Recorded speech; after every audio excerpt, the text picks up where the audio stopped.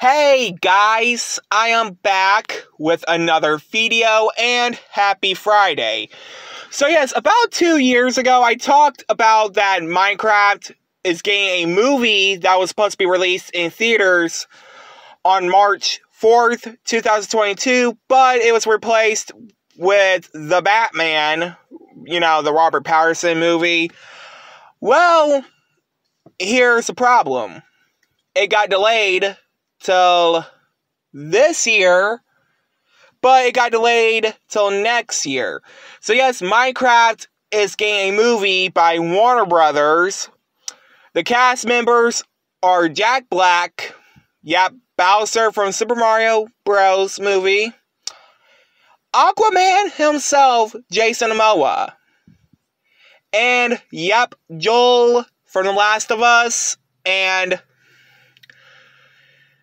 who's playing Mr. Fantastic from next year's Fantastic Four movie, Pedro Pascal, are cast members in the movie.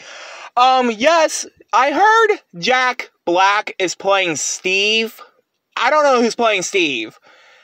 There was like a picture that was shown a while back, like a month or two ago, on what the characters will, will look like in the upcoming live action movie. Yes, the movie will be live action.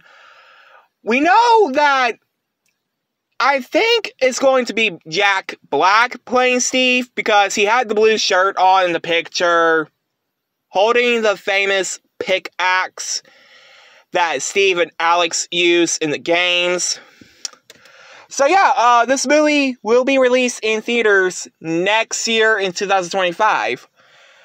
Anyway, guys, I hope you guys have a great weekend, and I hope you guys uh, enjoy watching SummerSlam tomorrow night. I know I will.